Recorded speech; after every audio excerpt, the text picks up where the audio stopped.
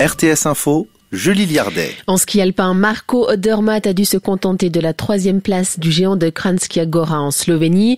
Alain Thévaux, vous avez suivi cette course. Le Nidwaldien est assuré désormais de remporter le grand globe de cristal.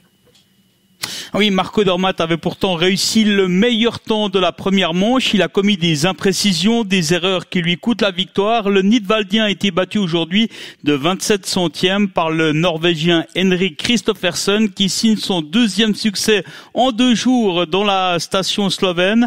L'Autrichien Stefan Brensteiner s'est emparé de la deuxième place.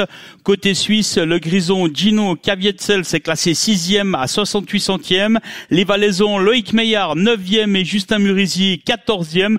Vous l'avez dit, euh, Marco Dormat est assuré désormais de remporter le classement général de la Coupe du Monde. Il compte 329 points d'avance sur Alexander Omot Kildel, norvégien, son poursuivant. Il reste 400 points en jeu, mais Kildel ne participe pas au slalom. Il devrait également faire l'impasse sur le géant des finales. Marco Dormat s'adjuge donc le grand globe de cristal après le petit en géant et le dernier vainqueur suisse chez les messieurs du classement général de la Coupe du Monde remonte à 2010. C'était Carlo Yanka qui avait inscrit son nom dans les tabelles. Merci Alain Thévaux.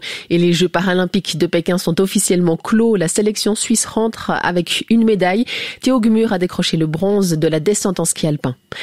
Le pape condamne l'agression armée en Ukraine. Arrêtez ce massacre, a-t-il lancé depuis la place Saint-Pierre devant des milliers de fidèles. Le pape estime que les bombardements d'hôpitaux et d'autres cibles civiles sont des actes barbares et sans raison stratégique valable. Sur le terrain, la région de Lviv, à l'ouest de l'Ukraine, est désormais plus épargnée. Des frappes ont visé ce matin une base militaire proche de la ville, non loin de la frontière avec la Pologne.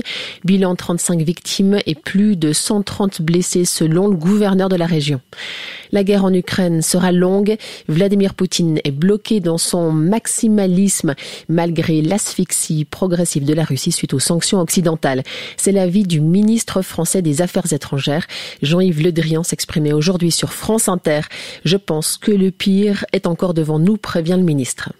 Et enfin, en Chine, les 17 millions d'habitants de la ville de Shenzhen sont confinés. En cause, 66 nouveaux cas de Covid ont été signalés dans la ville, annonce le gouvernement local, qui a aussi bouclé le quartier des affaires. Ces derniers jours, les autorités avaient déjà fermé les lieux non essentiels et les restaurants dans cette ville. Le temps sera assez nuageux cet après-midi avec par moments quelques éclaircies. Il va pleuvoir un peu ce soir ou neiger vers 1500 mètres puis 1200 mètres et même 1000 mètres dans le Jura vaudois. 11 degrés maximum cet après-midi jusqu'à 15 en Valais. Demain, pas mal de soleil avant l'arrivée des nuages en cours d'après-midi à partir du sud-ouest. Il fera encore plus gris mardi.